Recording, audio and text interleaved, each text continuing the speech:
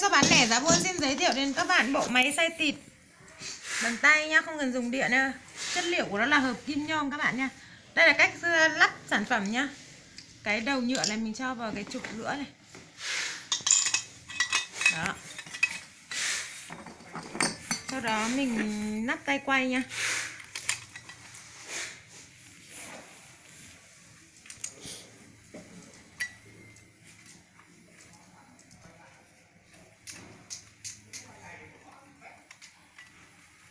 Nắp tay quay vào lắp thật chặt nha các bạn.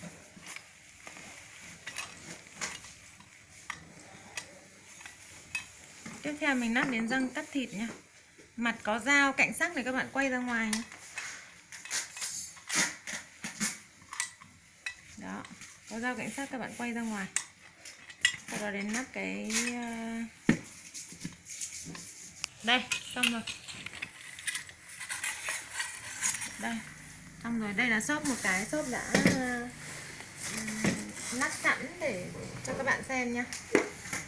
Thịt các bạn lưu ý là mua thịt không có gân nhá đừng mua chỗ có gân sẽ không xay được đâu ạ. Đây, thịt mỏng như này, thái mỏng như này cho xốp nha. Đây là xốp đã bỏ sẵn vào cối đấy đó, nhớ là thái mỏng nhỏ và mua thịt không có gân nha các bạn.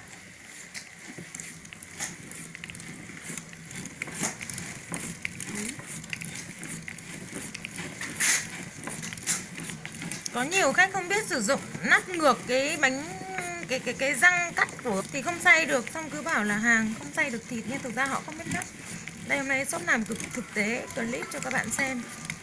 Vì nó là máy xay rau cả bát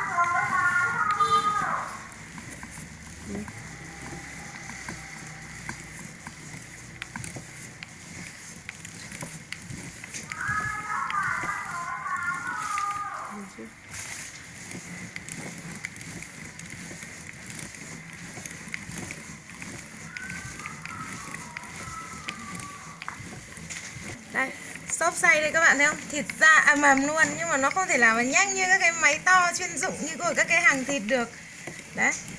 Các bạn phải uh, nhớ giúp xốp là phải chắc chắn 100% là mua cái thịt không có gân nha mua có gân về làm sao mà xay được. Thịt da tua tủa luôn đấy các bạn xem đấy xong hết rồi đấy.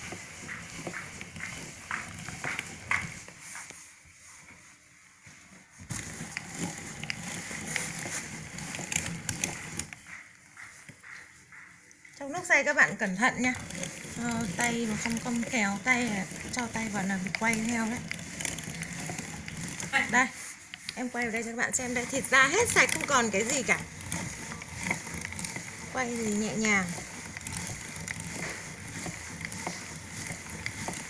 Đã hết rồi đấy ạ hết sạch rồi ạ.